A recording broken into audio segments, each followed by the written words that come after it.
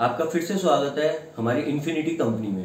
पहले आपको बताया गया था वीडियो में कि डेटा केबल्स कैसे बना सकते हो आप हैंड मोल्डिंग मशीन से। आज मैं आपको दिखाऊँगा उसी हैंड मोल्डिंग मशीन का एक और मॉडल जो कि थोड़ी सी बड़ी मशीन रहेगी, उसमें आप टू पिन और थ्री पिन प्लग निकाल सकते हैं। तो व्यूअर्स देखिए, ये मशीन है जो हमने डेटा केबल्स के लिए आपको दिखाई थी। ये छोटी मशीन जो यूज़ होती है, इससे डेटा केबल्स बनती हैं, या टेन ग्राम तक के जो प्रोडक्ट निकलते हैं।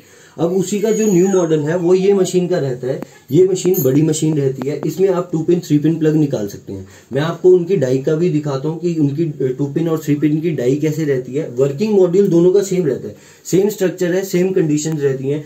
सिर्फ़ होता क्या है, ये बड़ी मशीन है, ये आपकी मशीन, इसमें हैवी नोजल रहती है हैवी हीटर रहता है और कैपेसिटी बढ़ जाती है। ये आपका 25 ग्राम तक का पीस निकल सकता है इस मशीन से।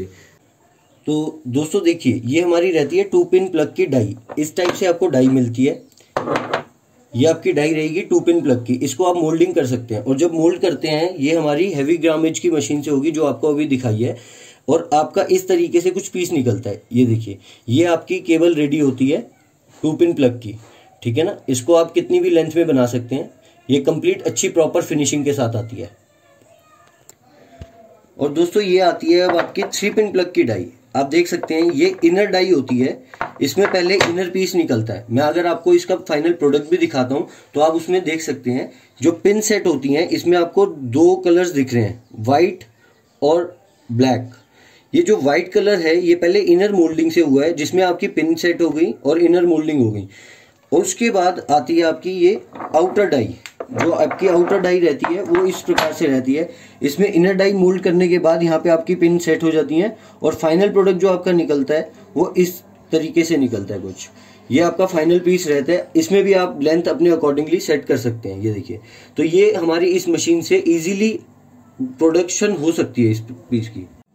तो व्यूअर्स मैं अब आपको दिखाता हूँ इसका वर्किंग मॉड्यूल कैसे रहेगा वर्किंग प्रोसीजर क्या होता है। बहुत ही सिंपल स्टेप्स हैं। आप इस हैंडल को ऊपर करेंगे, ये रॉड ऊपर हो जाएगी, जो प्रेशर रॉड होती है, इसमें आप देख सकते हैं, जो आप दाना यूज़ करेंगे इसमें पीपी का या पीवीसी यूज़ करते हैं तो उस दाने को आप इसमें डालेंगे। ये हीटर जो लगा हुआ है, ये हीटिंग कॉयल आपका एलिमेंट इस दाने को मेल्ट कर देगा और इस नोजल से आपका दाना बाहर आता है। तो आपने जब ये दाना डाल देते हैं, उसके बाद आप डाई में अपना वायर और पिन सेट करेंगे और डाई को लगा देंगे यहाँ पर, नोजल के एकदम एग्जैक्ट सेंटर में नीचे, ताकि आपको पीस भरने में परफेक्ट परफेक्ट आपका पीस निकल पाए, ठीक है? जब ये दाना मेल्ट हो जाएगा, उसके बाद इस रॉड को हैंडल को घुमा कर इस रॉड से आपका प्रेशर लगता है, ये प्रेशर आप पुट करेंगे, दाना जो मेल्ट होगा, वो इसमें चले जाएगा। और जब आप डाई रखते हैं तो एक चीज़ का ध्यान रखना है कि ये डाई खुले ना दाने के प्रेशर से तो हम इसको क्लैम्प कर देते हैं, ये टाइट हो जाता है।